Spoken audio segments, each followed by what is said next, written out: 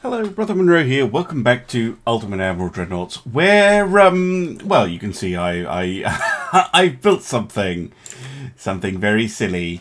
Um, yes, welcome to, well, it says the Mogami. It's not, um, this is not the only ship you can do this with, but, um, let's see, actually see if it works, because I haven't tried it using Admiral Snack Bar's uh, uh, balance mod.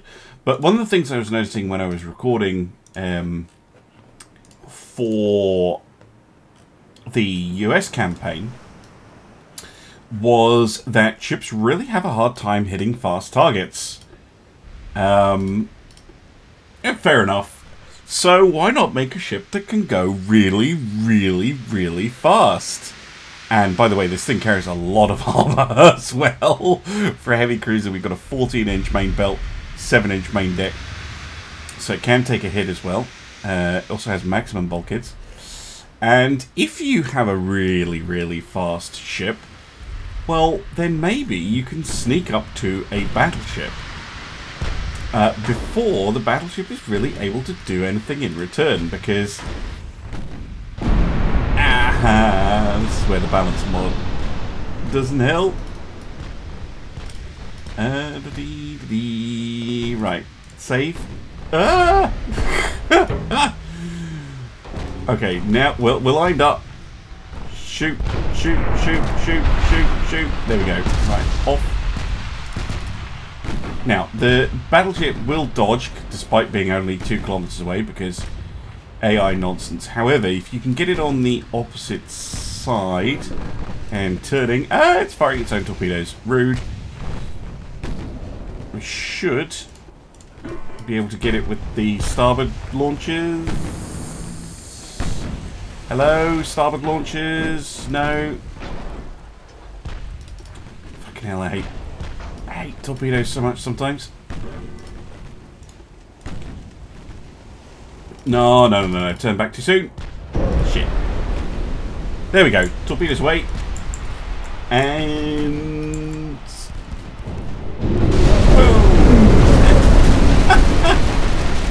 it's a lot of torpedo hits. Anyway, the Galois now is a little bit damaged, and we're just going to run away uh, while we reload forever. Um, but yes, you can produce very silly ships like this. Now, it doesn't have to be just Japan, uh, by the way, that you can do this with. You can do this with pretty much any um, any nation tool. Let's just use a random one. Italy. Okay, cool. So if you are building um, something for Italy. Uh, we'll go again up against Spain. Why not? Uh, you don't have to do this for heavy cruisers. You can do this for light cruisers too. But heavy cruisers are fun because they get quite a lot of armor on them. So you can actually make them quite resistant. And if you look here, you know, they're all supposed to go about 36 knots. What we're looking for, though, is the hull form stat. You see on this one it's 119, on this one's 113, and so on and so on and so on. But this one, this one has a hull form of 124.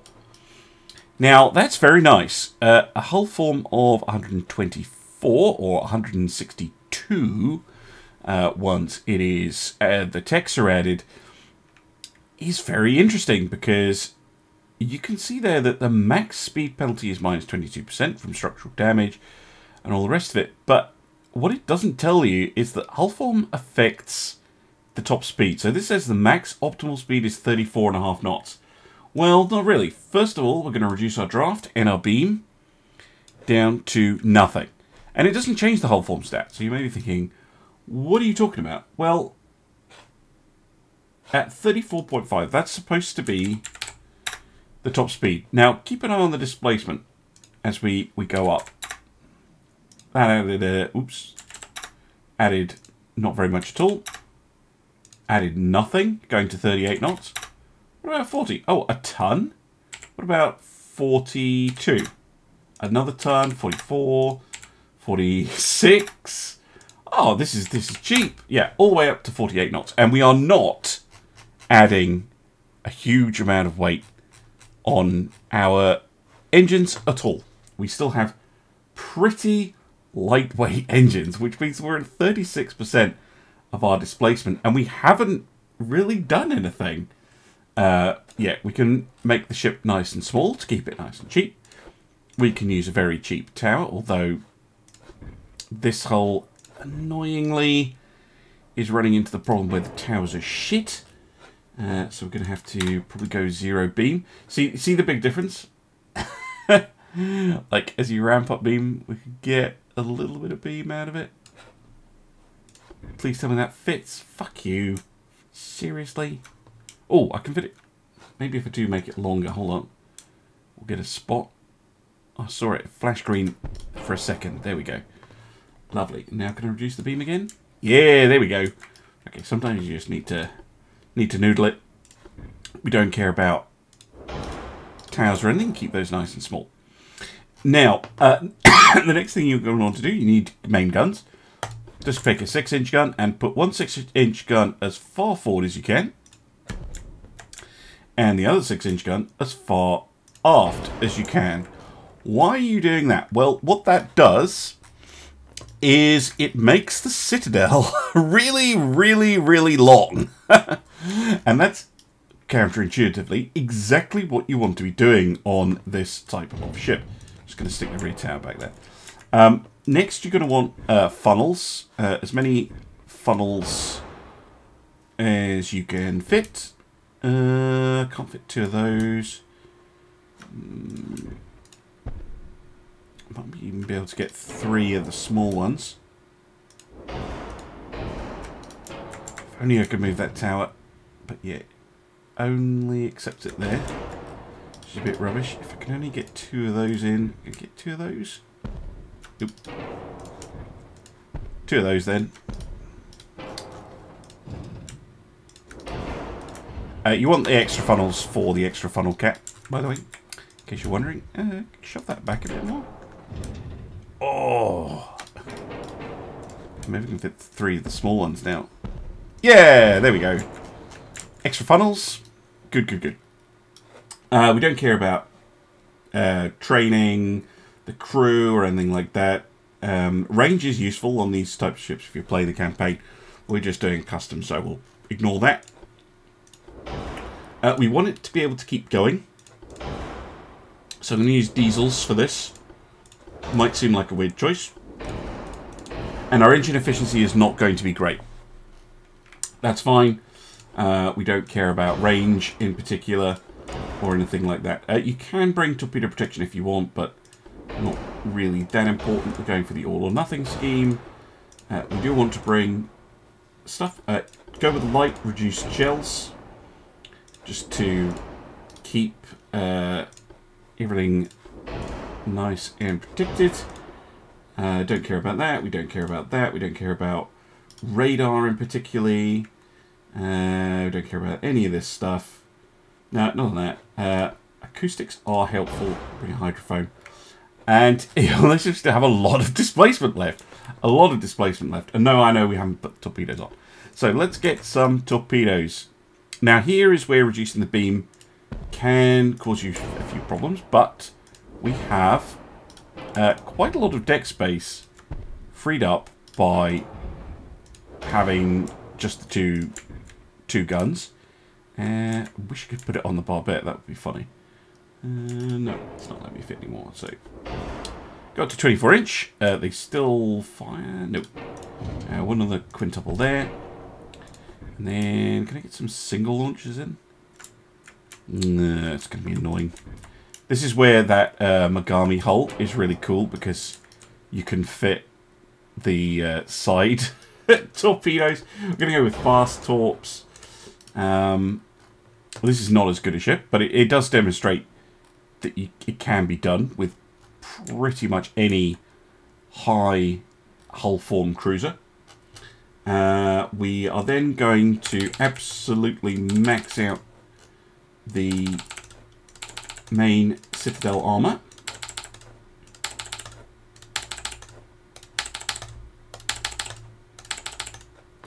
And we're going to get rid of the extended armor completely. Uh, don't need superstructure armor. We don't need conning tower armor. And we do. You, you could also save a bit of weight by reducing the 6 inch gun length because We don't need that. Either.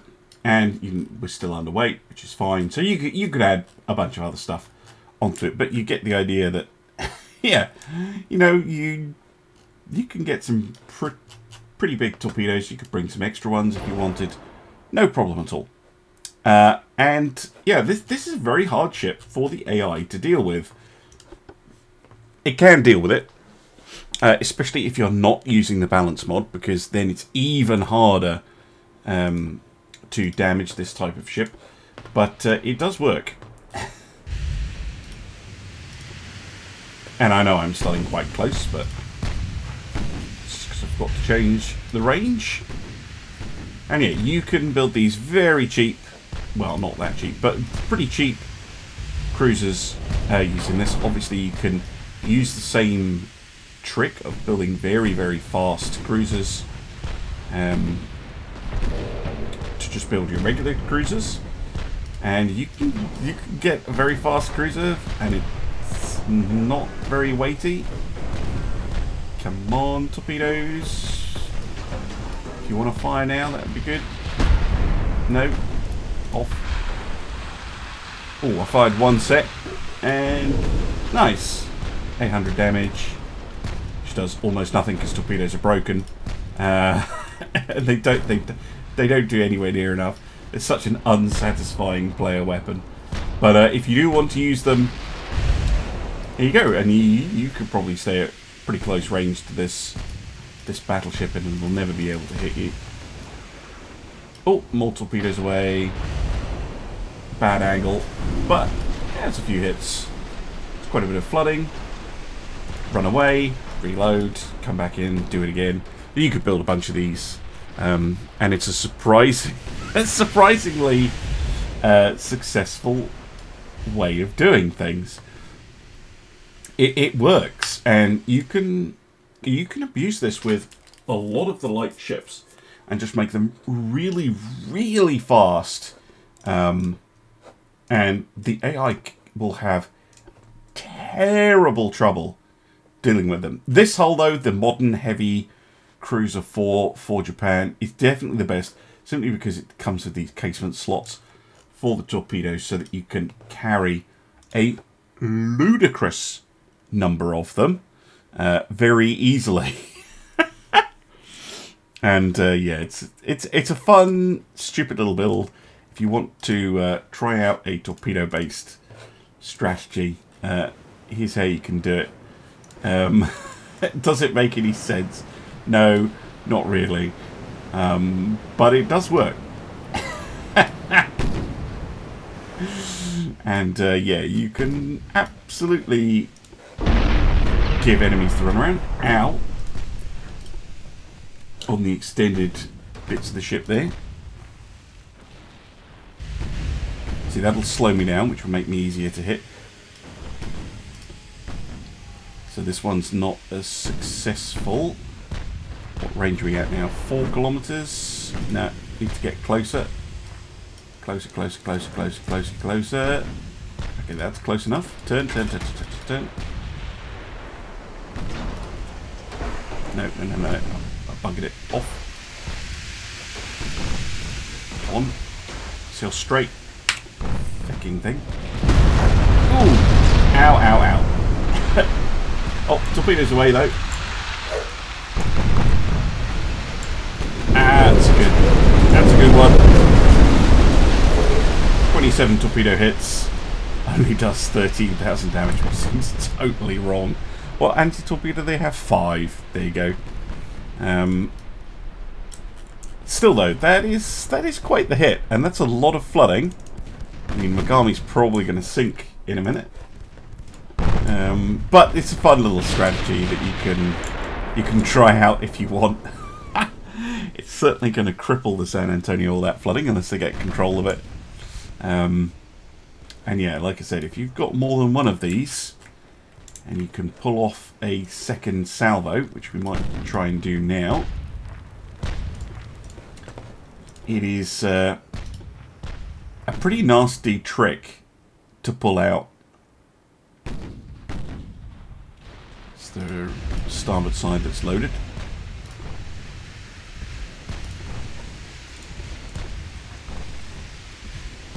Swing around. See if we can hit them. Here we go. Shoot.